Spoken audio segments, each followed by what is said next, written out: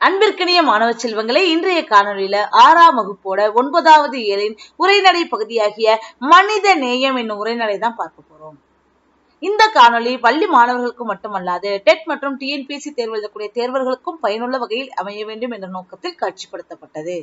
இதே போன்ற நம்ம தமிழாசிரியர் சேனல்ல பிஜிடிஆர்பி தமிழ் தேர்வு எழுதக்கூடிய தேர்வர்களுக்காக அனைத்து பாடங்களுடைய காணொளிகளையும் தொடர்ச்சியாக நான் காட்சிப்படுத்திட்டு வந்துட்டு இருக்கேன் இந்த காணொளிகள் அனைத்தையும் நீங்க பார்க்கணும் அப்படின்னு சொன்னா நம்ம தமிழாசிரியர் சேனலை சப்ஸ்கிரைப் பண்ணுங்க. கூட பக்கத்துல இருக்க பெல் ஐக்கானே கிளிக் பண்ணிக்கோங்க. அப்பதான் நான் போற வீடியோஸ்க்கான நோட்டிபிகேஷன் உடனுக்குடன் உங்களுக்கு வந்து சேரும். வாங்க இன்றைய வகுப்புக்குள்ள போகலாம். ஆறாம் வகுப்போட ஒன்பதாவது ஏழின் உரைநடை பகுதியாகிய மனித நேயம். மனித நேயம் என்றால் என்ன? சக மனிதர்கள் மீது நாம் வைக்கக்கூடிய நேசம் என்று பொருள். நேயம் என்றால் நேசம் விருப்பம் இரக்கம் கருணை அன்பு. இப்படி பலவாறான சொற்களால் நம்ம என்ன பண்ணலாம்? அதை சொல்லலாம். இப்ப மனித நேயம் என்ற தலைப்புல இருக்கக்கூடிய இந்த உரைநடையை தான் நம்ம பார்க்க போறோம். இந்த உரைநடைக்கு நுழைவதற்கு முன்பாக இந்த உரைநடை வழியாக நாம் தெரிந்து கொள்ள வேண்டிய தகவல்கள் என்னவென்று பார்க்கும்போது இல்லாதவர்களுக்கு கொடுத்து மகிழ்வதே ஈகை. இருப்பவர்களுக்கு கொடுப்பதல்ல. இல்லாதவர்களுக்கு கொடுக்கும் போது ஒரு மகிழ்ச்சி தோன்றும் அல்லவா? இந்த மகிழ்ச்சியை மனிதர்களாக பிறந்த அனைவரும் அனுபவிக்க வேண்டும். அப்படி கொடுத்து மகிழ்வதுதான் ஈகை குணம் அப்படிங்கிறாங்க. பசி என்று வந்தவருக்கு வயிறார உணவிட வேண்டும். தீமை செய்தவருக்கும் நன்மையே செய்ய வேண்டும். ஆதரவு இல்லாதவர்களை அன்புடன் அரவணைக்க வேண்டும். பிறர் துன்பத்தை தமது துன்பமாக நினைத்து வருந்தும் பண்பினை கொள்ள வேண்டும். இப்பண்புகளை கொண்டு வாழ்வோர் உயர்வடைவர். ஆமா மனித நேயம்ன்றது இதுதான். பசித்தவருக்கு வயிறார உணவிடுதல் தீமை செய்தவருக்கும் நன்மை செய்தல் ஆதரவு இல்லாதவர்களை அரவணைத்துக் கொள்ளுதல் பிற துன்பத்தை தனது துன்பமாக நினைத்து வருந்துதல். இந்த பண்பு என்பது மனிதர்களுக்கு அனைவரிடமும் இருக்க வேண்டிய பண்பு. ஆனால் எல்லோரிடமும் இந்த பண்பு இருக்கிறதா என்றால் அதுக்கு நிச்சயம் கேள்விக்குறிதான். இப்பண்புகளை கொண்டு வாழ்வோர் கண்டிப்பாக வாழ்வில் உயரடைவோர். அப்படி வாழ்ந்தோரின் வாழ்வில் நடந்த நிகழ்வுகளை காண்போம். வாருங்கள் அப்படி யாராவது வாழ்ந்திருக்காங்களா? கண்டிப்பாக அப்படி வாழ்ந்தவர்கள் மனிதர்களை விட உயர்ந்த நிலையில் மகாத்மாங்களாக மகான்களாக அறியப்பட்டு இருக்கிறார்கள் அப்படிப்பட்ட மகான்களின் வாழ்வில் நடந்த சில நிகழ்வுகளை தான் இந்த உரைநடையில நம்ம பார்க்க போறோம். இது உண்மை நிகழ்வுகள் அப்படிங்கிறாங்க. இந்த நிகழ்வுகளின் வழியாக மனிதநேய பண்போடு அவர்கள் எப்படி திகழ்ந்தார்கள் என்பதை நாம் உணர்ந்து கொள்ள முடியும். உலகில் எந்த ஆறும் தன் தாகத்திற்காக ஓடுவதில்லை. எந்த நிலமும் தன் பசிக்காக விளைவதில்லை. எந்த மரமும் தனக்காக கனிகளை தருவதில்லை. இவற்றை போல மனிதன் தனக்கென வாழாமல் பிறர்க்கென வாழ வேண்டும். ஒரு நதி மாதிரி ஒரு நிலம் மாதிரி ஒரு மரம் மாதிரி மனிதன் வாழ்றப்போ அந்த வாழ்க்கை அர்த்தமுள்ள வாழ்க்கையாக இருக்கும். அவ்வாறு வாழ்வதற்கு என்ன வேணும் அப்படின்னா கருணை பொறுமை பரிவு நன்றி உணர்வு இன்சொல் பேசுதல் போன்றவை தேவை. சொல் சொல் சொற்களை எவ்வளவு அழகா இருக்கு பாருங்க. சொல்றப்போ கேட்கக்கூடிய நமக்கு எவ்வளவு இனிமையா இருக்கு. கருணை பொறுமை பரிவு நன்றி உணர்வு இன்சொல். சொற்களே ஒரு அழகு இருக்கு இல்லையா? ஒரு அமைதி தெரியுது இல்லையா? ஓ இந்த குணங்களை நாம் வளர்த்து கொள்ள வேண்டும். எல்லா உயிர்களிடமும் அன்பு செலுத்துதல் வேண்டும். அதுவே மனிதநேயம். மனிதநேயம் அப்படிங்கிற சொல்ல இப்படிதான் விளக்குறாங்க. எல்லா உயிர்களிடம் அன்பு செலுத்துறதுக்கு பேர் தான் மனிதநேயம். மனிதர்களிடம் மட்டுமல்ல. எல்லா உயிர்களிடத்தும் அன்பு செலுத்துறதுக்கு பேர் தான் மனித நேயம் அப்படிங்கிறாங்க. மனித நேயத்துடன் வாழ்பவர்களால் தான் இவ்வுலகம் இயங்கிக் கொண்டிருக்கிறது. இந்த உண்மையை தமக்கென முயலான் ஒன்றால் பிறர்க்கென முயலினர் உண்மையானே என்ற பொருளாநூற்று அடிகள் உணர்த்துகின்றன உண்மையான வாழ்க்கைங்கிறது தனக்கென வாழ்றதா தன் வீடு தன் மனைவி தன் பெண்டு இப்படி வாழ்றதா? வாழ்க்கை அப்படின்னா கண்டிப்பாக இல்லை. பிறர்க்கென முயலினர். அடுத்தவர்களுக்காக தன் வாழ்க்கையை மாற்றியமைத்துக் கொள்பவர்கள் தான் உண்மையான வாழ்க்கையை வாழ்ந்தவர்களாக கருத முடியும். ஒரு மனிதன் வாழ்ந்தான் உண்மையான மனிதனாக வாழ்ந்தான் சிறப்பான மனிதனாக வாழ்ந்தான் அப்படிங்கிறது எப்ப தெரிஞ்சுக்கலாம் அப்படிங்கிறப்போ அவனது இறப்பில் தெரிந்து கொள்ளலாம் என்பார். ஒரு மனிதன் இறந்து அவனது உடல் இறுதி உருவத்தில் இருக்கப்போ ஒரு நான்கு பேர் முகம் தெரியாத நான்கு பேர். ஐயோ நல்ல மனிதன். இதற்குள்ளாகவே இறந்து விட்டாரே என்று முகம் தெரியாதவர்கள் எவரோ நமக்காக நான்கு சொட்டு கண்ணீரை வடித்தார்கள் என்றால் நாம் வாழ்ந்த வாழ்க்கை பயனுள்ள வாழ்க்கை. அதுதான் புறநானூற்று அடிகள் சொல். அப்படி ஒரு வாழ்க்கையை வாழணும். அதுதான் அர்த்தமுள்ள வாழ்க்கை அப்படிங்கிறாங்க. அந்த மாதிரி வாழ்க்கை வாழ்ந்தவர்கள் யாராவது இருக்காங்களா அப்படின்னா நிறைய பேர் இருக்காங்க. சிலர் பத்தி மட்டும்தான் நம்ம இந்த உரைநடை வழியா தெரிஞ்சுக்குவோம் அதில் முதலாமவர் அப்படின்னு சொன்னா வள்ளலார். தமிழ்நாட்டில் பிறந்தவர். இல்லையா? வள்ளலார் அப்படின்னு பெயர் கொண்ட ராமலிங்க அடிகளார். அவரோட வாழ்வில் நடந்த ஒரு சம்பவத்தை இங்க கொடுத்திருக்காங்க. இந்த சம்பவத்தின் மூலமாக மனிதநேய பண்பு எப்படி இருக்கணும் அப்படிங்கறத நம்ம தெரிஞ்சுக்கலாம். ஏன் இவரை வள்ளலார்னு சொல்றோம் மகான் அப்படின்னு சொல்றோம் அப்படின்னா அதுக்கு காரணம் இந்த நிகழ்வு. வள்ளலார் வாழ்வில் நடந்ததாக ஒரு நிகழ்வை பலரும் கூறுவதுண்டு. வள்ளலார் இளம் வயதில் ஒரு நாள் நடந்து வந்து கொண்டிருந்தார். நீண்ட தூரம் நடந்ததால் களைப்பு ஏற்பட்டது. எனவே ஓய்வெடுக்க விரும்பினார். வழியில் சத்திரம் ஒன்று இருந்தது. சத்திரம் என்பது யார் வேணாலும் தங்கி செல்லக்கூடிய ஒரு இடம். அந்த திண்ணையில் படுத்து உறங்கினார். அப்போது ஒருவன் அங்கு வந்தான். படுத்திருந்த வள்ளலாரின் காதில் கடுக்கன் இருப்பதை கண்டான். கடுக்கன் என்பது ஆண்கள் காதில் அணியக்கூடிய அஹ், அணிகள் கிட்டத்தட்ட தோடு மாதிரி இருக்கும். அந்த கடுக்கன் இருப்பதை கண்டான். அதை தனதாக்கிக் கொள்ள முடிவெடுத்தான். தங்க கடுக்கனை மெதுவாக கலற்றினான் அவனது அறிந்தும் வள்ளலார் கண்மூடியபடியே படுத்திருந்தான். காதல இருக்க கடுக்கனை ஒருத்தன் திருடுறான் அப்படின்னு தெரிஞ்சிருந்தும் வள்ளலார் அசையல சத்தம் போடல கூப்பாடு போடல. அவனை அடிக்கல. அமைதியா படுத்திருக்கார் கண்ணை மூடியே. ஒரு கண்ணை கடுக்கு ஒரு கடுக்கனை கலற்றியவுடன் மறுக்காதில் உள்ள கடுக்கனை அவன் கலற்றுவதற்கு ஏதுவாக திரும்பி படுத்தான். ஒரு ஒரு கடுக்கன் கலட்டியாச்சு.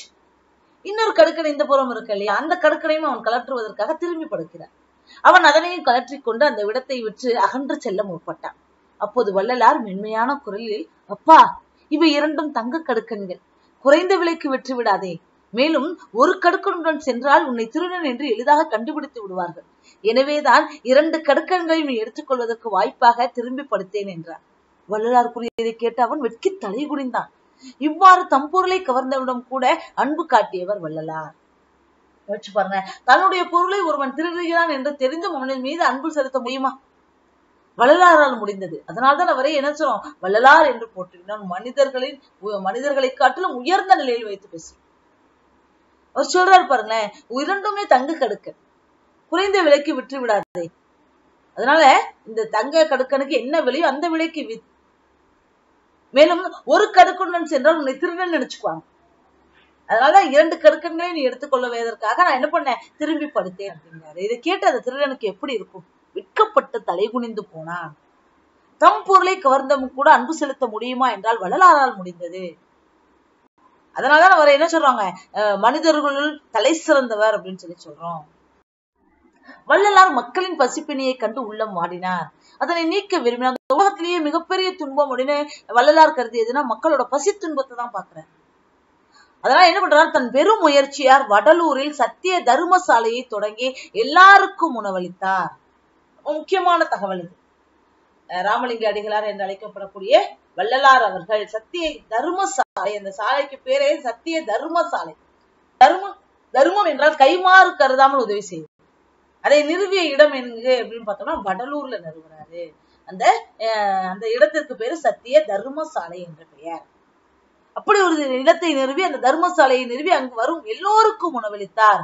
பசித்தோருக்கு உணவு வழங்கும் வள்ளலாரின் மனிதநேய செயல் வடலூரில் இன்றும் தொடர்ந்து நடைபெற்று வருகிறது. இன்றைக்கு நமக்கு நம்ம வடலூருக்கு போனோம்னா அந்த சத்திய தர்மசாலைக்கு போகலாம். அங்கே வள்ளலார் அவர்கள் ஏற்றி வைத்த அடுப்பு அணையாமல் எரிந்து கொண்டே இருக்கிறது. எப்ப எந்த வேலையில யார் போய் நின்றாலும் பசி என்று போய் நின்றால் அவர்களுக்கு உணவளிக்கக்கூடிய அரும்பணியை அறப்பணியை அந்த சத்திய தர்மசாலை செய்து கொண்டே வருகிறது. வள்ளலார் காலம் தொடங்கி இன்று வரை அது நடைபெறுகிறது. வள்ளலார் பத்தி சொல்லணும் அப்படின்னா இந்த ஒற்றை வரிகள் நமக்கு ரொம்ப நன்கு தெரிந்த வரிகள். வாடிய பயிரை கண்டபோதெல்லாம் வாடினேன்.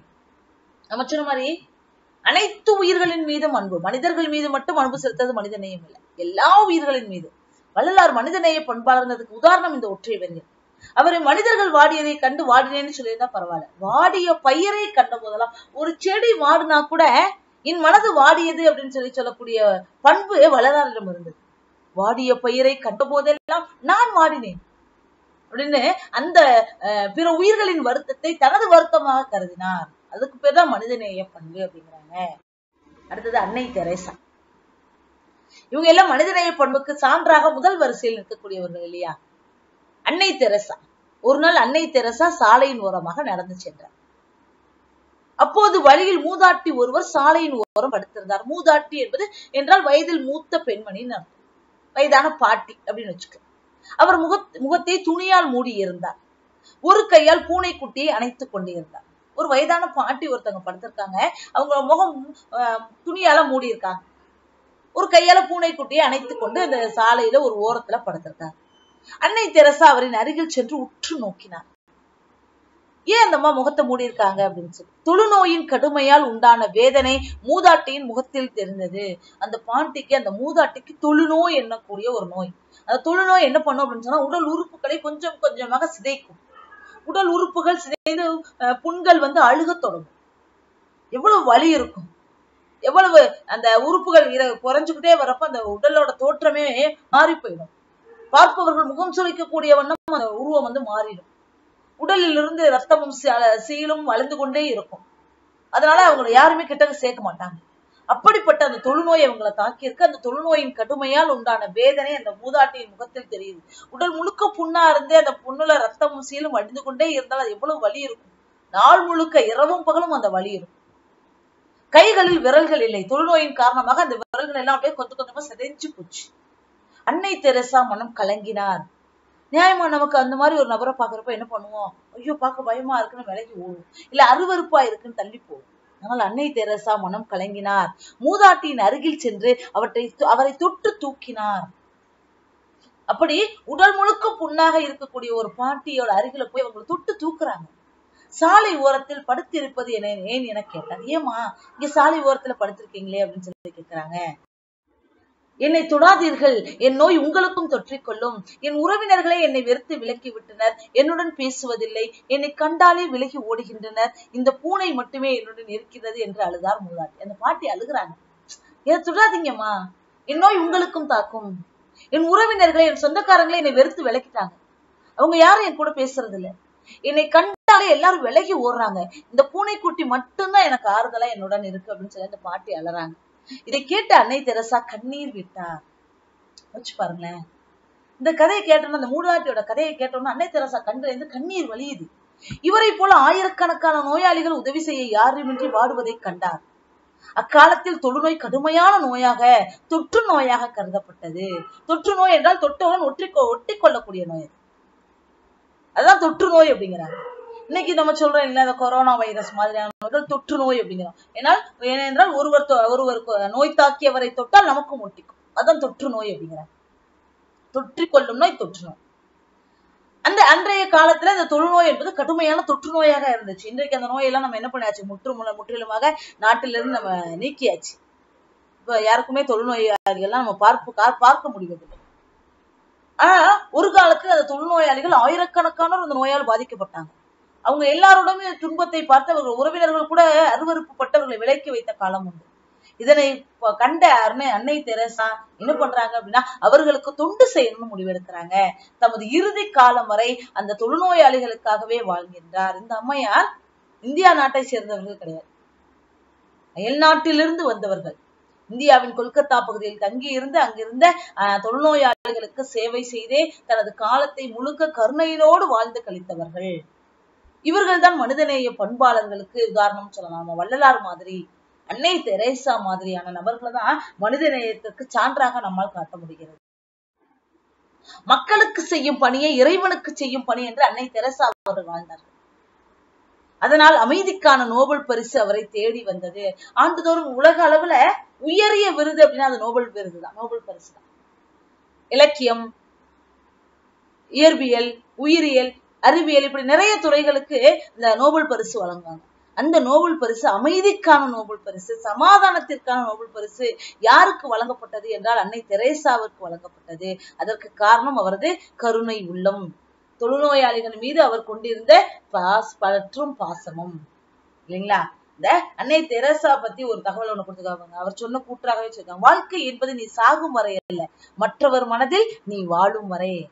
வாழ்க்கைன்னு நம்ம நினைச்சிட்டு இருக்கோம் நம்ம சாகுற வரைக்கும் தான் வாழ்க்கைன்னு இல்ல. நாம் மற்றவர் மனதில் வாழும் வரை நமக்கு வாழ்க்கை இருக்கிறது என்று சொல்லியிருக்கிறார். அப்படி பார்க்கும்போது அன்னை தெரசாவுக்கு மரணம் இல்லை. அவர் இன்னும் நம் மனதங்களில் வாழ்ந்து கொண்டே இருக்கின்றார். அவரது வாழ்க்கையானது நீண்டு கொண்டே இருக்கிறது. கருணை உள்ளவரை அன்பு உள்ளவரை அன்னை தெரசா இந்த உலகத்தில் வாழ்ந்து கொண்டே இருப்பார். அடுத்தது கைலாஷ் சத்யார்த்தி. அன்னை தெரேசாவிற்கு அடுத்து அமைதிக்கான நோபல் பரிசு பெற்ற இந்தியர் கைலாஷ் கைலாஷ் சத்யார்த்தி. இவர் யார்? இவர் ஒரு நோபல் பரிசு பெற்றவர். அமைதிக்கான நோபல் பரிசு. எப்படி அன்னை தெரசாவுக்கு கொடுத்தோமோ அதே பரிசை அண்மை காலங்கள்ல வாங்கியவர் கைலாஷ் சத்யார்த்தி இவர் யார்? இவர் பத்தின தகவல் தெரிஞ்சுப்பா. இவர் சிறு வயதில் தினமும் பள்ளிக்கூடம் செல்லும் போதே சாலையோரத்தில் ஒரு சிறுவனை காண்பார். அவர் அவன் தன் தந்தையுடன் அமர்ந்து வேலை செய்து கொண்டிருப்பான். ஏன் அந்த சிறுவன் தன்னை போல் பள்ளிக்கு வரவில்லை என்ற கேள்வி அவர் உள்ளத்தில் உறுத்தி கொண்டே இருந்தது. யார் உள்ளத்தில்? கைலாஷ் சத்யார்த்தியின் உள்ளத்தில். தன் ஆசிரியரிடமும் பெற்றோரிடம் இக்கேள்வியை கேட்டார். தனது ஆசிரியரிடமே பெற்றோரிடமே கேட்கிறாங்க ஏன் அந்த பையன்? நான் மட்டும் பள்ளிக்கூடத்துக்கு போய் படிக்கிறேனே. ஆனால் அந்த பையன் மட்டும் அவங்க அப்பாவோட ரோட்டோரத்துல உட்காந்து வேலை பார்க்கறானே. ஏன் அவன் பள்ளிக்கூடத்துக்கு போகல? அப்படின்னு சொல்லி கேட்கிறப்போ அவர்கள் சொன்ன பதில் பணம் இல்லாததால் அச்சிறுவன் பள்ளிக்கு வரவில்லை. அப்படின்னு சொல்லி எல்லாரும் சொல்றாங்க. வீட்டின் உணவு தேவையை நிறைவு செய்ய பணம் வேண்டும். எனவே அவன் பணம் ஈட்ட வேலை பார்க்கிறான் என்று பதில் கிடைத்தது. ஆசிரியரும் சரி அவங்க பெற்றோரும் சொன்ன பதில் என்னன்னா பணம் இல்ல அந்த பையன் வறுமையில இருக்கான். அதனால அவன் பள்ளிக்கூடத்துக்கு வரல. அந்த பையன் என்ன பண்ணுவான்? அவங்களோட உணவு தேவைக்காகவாது ஆடம்பர வாழ்க்கைக்கு இல்ல. உணவு தேவைக்கே அவங்க பணம் இல்ல. மூன்று வேளை உணவு உண்பதற்கு கூட அவர்கள் வீட்டில் பணம் இல்லை. அந்த பண தேவைக்காக அவன் என்ன பண்றான்? வேலை பார்க்கிறான். அந்த வேலையின் மூலமாக கிடைக்கும் பணத்தை கொண்டு அவன் வீட்டில் உள்ளவர்கள் மூன்று வேலையும் உணவருந்துகிறார்கள் என்ற பதில் கிடைத்தது. அந்த பதில் அவருக்கு மிகுந்த மனவருத்தத்தை கொடுத்தது. கைலா சத்தியார்த்தியோட மனசு ரொம்ப கஷ்டமா போச்சு. படிக்க வேண்டிய வயசுல ஒரு சின்ன பையன் வேலைக்கு போறான். அந்த பையன் மேல் பார்த்தா அந்த குடும்பம் சாப்பிட வேண்டும் என்ற நிலையில இருக்கக்கூடிய அளவுக்கு வறுமை நிலையில இருக்குன்னு நினைக்கிறப்போ அவருக்கு மனசு ரொம்ப கஷ்டமாயிருச்சு. அவருடைய மனித நேயம் பிற்காலத்தில் அவரை பள்ளி செல்லாத குழந்தைகள் மேலும் பறிவு கொள்ள வைத்தது. அந்த பையன் வளர்கின்றான். வளர வளர அவரோட மனதுல இருந்த அந்த எண்ணம் மட்டும் அந்த பள்ளி செல்லாத குழந்தைகள் மீதான எண்ணம் மட்டும் அவர் மனதை விட்டு போகவே இல்லை. அந்த குழந்தைகளுக்கு ஏதாவது செய்ய வேண்டும் என்ற எண்ணம் வளர்ந்து கொண்டே இருக்கிறது. அதற்காக அவர் குழந்தைகளை பாதுகாப்போம் என்னும் இயக்கத்தை தொடங்கினார்.